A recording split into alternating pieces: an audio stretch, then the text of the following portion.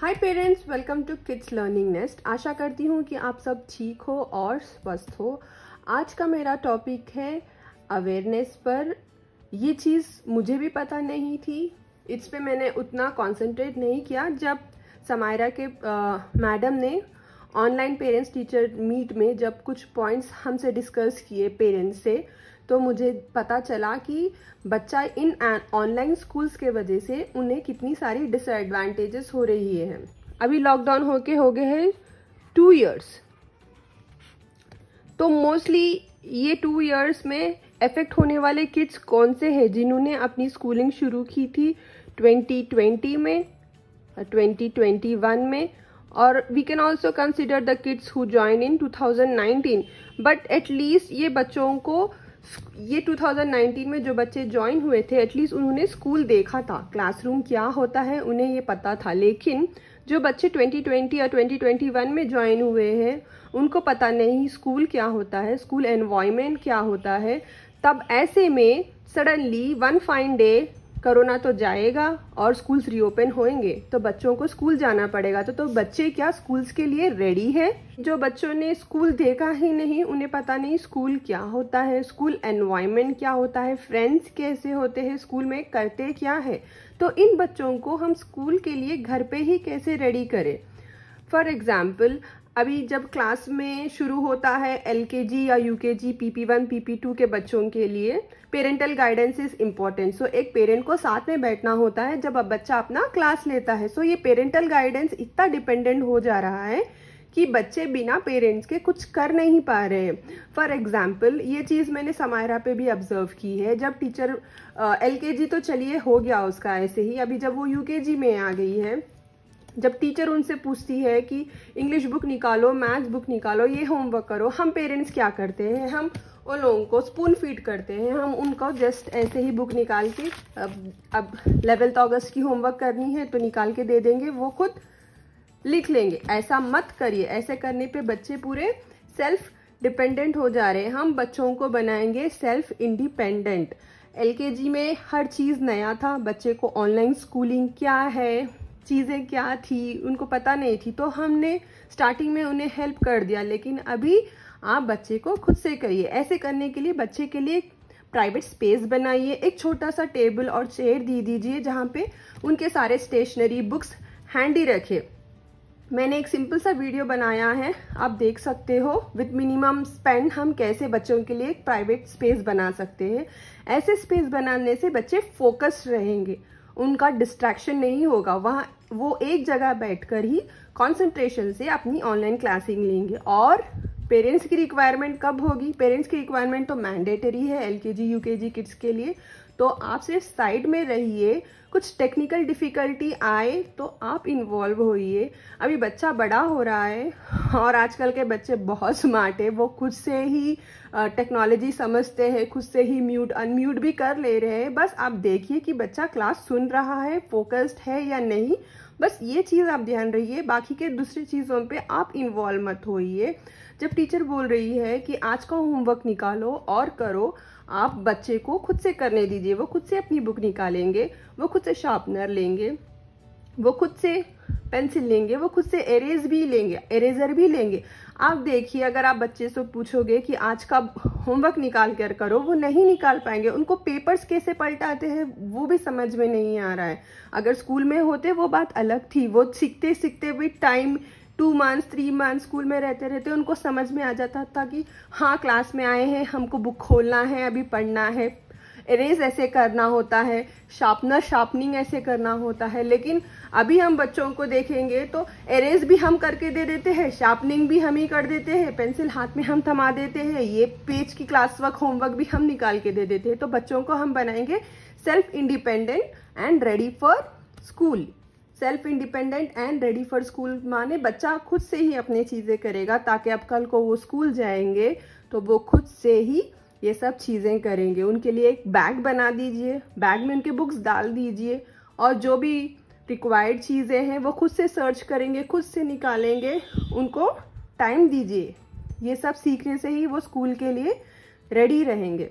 अभी दूसरा है कि पेरेंट्स के डूज एंड डोंट्स ये चीज़ें काफ़ी पेरेंट्स में ऑब्ज़र्व हुआ है जहाँ पे पेरेंट्स बच्चों को बहुत ज़्यादा प्रेशराइज कर दे रहे हैं।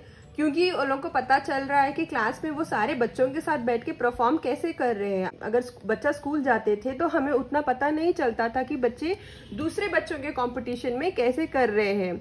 अभी मैं मेरी सम, अभी मैं समायरा की बात लेती हूँ वो बहुत अच्छे से लिखती है जो भी टीचर बोलते हैं वो खुद से अच्छे से गुड पेस ऑफ़ स्पीड वो लिखती है लेकिन comparatively with two three kids वो थोड़ा स्लो जाती है। अगर वो स्कूल में होती तो मुझे पता नहीं चलता कि Samaira comparatively with the two three kid थोड़ा स्लो पेस में जा रही है। अभी जब भी वो घर में रहेगी ऑनलाइन क्लास के थ्रू मुझे पता चल रहा है कि उसका थोड़ा स्पीड uh, राइटिंग में स्लो है तो हम बच्चों को प्रेशराइज नहीं करेंगे कि हाँ उसका हो गया, तुम्हारा अभी तक क्यों नहीं हुआ? ऐसे मत करिए। They are doing good they are doing with time अगर बच्चा बहुत ही स्लो कर रहा है like A B C D लिखने के लिए 20 मिनट लगा दे रहा है, वो प्रॉब्लमेटिक है। अगर बच्चा दूसरे बच्चों के मुकाबले में एक एक मिनट, तीस सेकेंड कम कर रहा है तो उसे प्रेशराइज मत करिए कि देखो, उसका हो गया, तुम्हारा क्यों नहीं हुआ? हाँ ऐसे बच्चों को हम प्रेशराइज कर देते हैं वो इरिटेट से हो जाते हैं कि हर चीज़ में मॉम सर पे बैठकर मुझसे बोलते रहती है कि ये करो, वो करो, ये चीज़ करना अवॉइड करिए।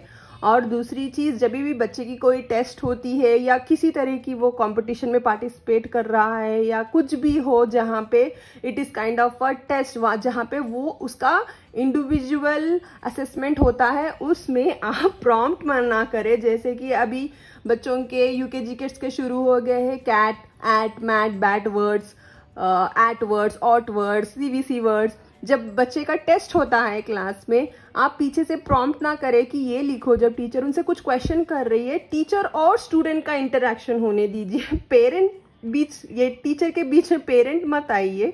बच्चे को टीचर से ही बात करने दीजिए। टीचर को आई कांटेक्ट देकर बात करने दीजिए। वो ऐसे करेंगे तो वो स्कूल के लिए रेडी होंगे।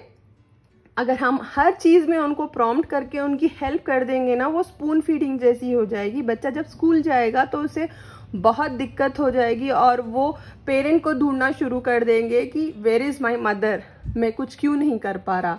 सो so, ये चीज़ करना कम करिए प्रॉम्प्ट मत करिए किसी भी चीज़ के लिए। स्टूडेंट और टीचर इंटरेक्शन होने दीजिए ना कि पेरेंट बीच में आके पेरेंट के हेल्प के थ्रू बच्चा कुछ करे। एक और पॉइंट थोड़े बच्चे स्क्रीन में देख के टीचर से डायरेक्ट आई कांटेक्ट करके बात नहीं कर पा रहे हैं। तो आप क्या करोगे कि उनको प्रैक्टिस दीजिए, मिरर में, मिरर के सामने खड़ के खुद से बात करने की प्रैक्टिस दीजिए, या जब भी वो किसी से वीडियो कॉल में बात कर रहे हैं या कुछ भी कर रहे हैं, आई कांटेक्ट करके बात करने दीजिए। अगर बच्चा आई कांटेक्ट करके बात करेगा तो वो गुड स्पीकर बनेगा। लोगों को देख के बात करना, कॉन्फिडेंट टॉक करेंगे। अगर बच्चे को वो कॉन्फिडेंट लैक करेगा ना तो वो कुछ बोलना चाहेगा, लेकिन वो लो कॉन्फिडेंस के वजह से बच्चे बोल नहीं पाते। ये काफ़ी बच्चों में ऑब्ज़र्व किया गया है। तो ये चीज़ आप ध्यान रखिए कि बच्चे को कुछ भी है, कुछ भी बोलना है तो डायरेक्ट टीचर को देखकर आई कांटेक्ट करके बात करने के लिए इंकरेज करिए। साथ ही साथ हम ये एक और चीज़ भी कर सकते हैं। हम स्कूल रिलेटेड कुछ वीडियोस बच्चों को दिखाएँगे कि ये स्कूल है, क्लासरूम ऐसा होता है, जब स्कूल्स ओपन होंगे, आपका एनवायरनमेंट ऐसा होगा, आपको जो ऑनलाइन में टीचर होती है, वो रियल में आ जाएँगे, आपके सारे फ्रेंड्स रियल में आएँगे। आप उनसे बात कर सकते हो। ऐसे सिंपल से चीज़ें बच्चों से डिस्कस करिए।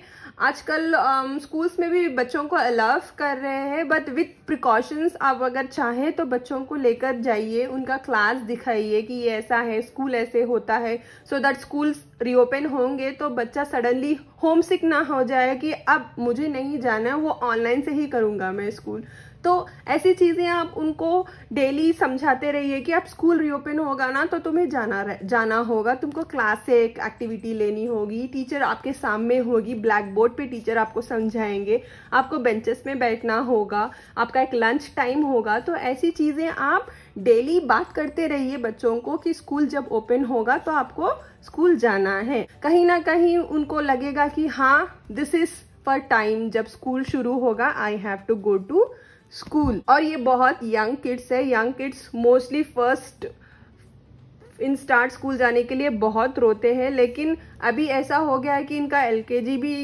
लॉकडाउन में हो रहा है यूकेजी भी लॉकडाउन में हो रहा है। अगर फ़र्स्ट में स्कूल जाएँगे तो रोने लगे कि हमें नहीं जा जाना है तब तक बच्चे हो जाएँगे फाइव और सिक्स ईयर्स के। अगर फाइव और सिक्स ईयर का किड कह रहा है स्कूल नहीं जाना है तो वो बहुत प्रॉब्लमेटिक हो जाएगा। थ्री इयर्स के जब हम उन, उनको एल में डालते हैं three three and half years के तब तो वो बहुत ही बहुत ही बहुत ही छोटे होते हैं। तो वो नॉर्मल है, वो बच्चा बोल रहा है कि स्कूल नहीं जाना है that is common in every kid लेकिन सिक्स ईयर्स का किड बोल रहा है कि स्कूल नहीं जाना then it is a concerning thing तो हम एवरी डे बच्चों को कहते रहेंगे कि you have to go to school and school environment will be like this एक और बात, जब क्लास में टीचर कुछ ऑनलाइन क्लास में समझा रहे हैं, अगर बच्चे को कुछ समझ में नहीं आ रहा है, आप खुद से टीचर मत बनिए, आप खड़कर उसे पहले समझाइए मत कि ये एट आ मिलके एट बनता है, फिर तुम पहले ख ख साउंड लगाओ तो बनेगा cat let the child listen to teacher first उसको टीचर को सुनने दो। उसके बाद क्लास होने के बाद हम आराम से बैठ के उनको समझा सकते हैं कि आप ही ऑनलाइन एक्टिविटी में जब सॉरी ऑनलाइन क्लास में जब टीचर कुछ बोल रहे हैं कि हम आगे से आके बच्चों को ना समझे let the child listen to teacher always let the child listen to teacher क्यों? आगे चल के बच्चों को स्कूल जाना है, उनको स्कूल में टीचर के थ्रू ही चीज़ें समझनी है और सीखनी है। स्कूल जब बच्चे जाएँगे, तब हमारा इंटरेक्शन मिनिमम हो जाएगा। हम जस्ट चेक करेंगे कि हाँ स्कूल की एक्टिविटी हुई है, स्कूल में इसने क्या किया है और जो भी होमवर्क रिलेटेड स्टफ्स होंगे, वो घर पे हम करवाएँगे। तो आप जस्ट जब ऑनलाइन क्लासेस होते हैं स्टूडेंट टीचर इंटरेक्शन होने दीजिए। बच्चे को स्टूडेंट के थ्रू ही, बच्चे को टीचर के थ्रू ही समझने दे। आप बीच में मत समझाइए। जब एक्टिविटी जब ऑनलाइन क्लास हो जाएगी, तब बच्चा फ्री होगा उसके स्टडी टाइम पे।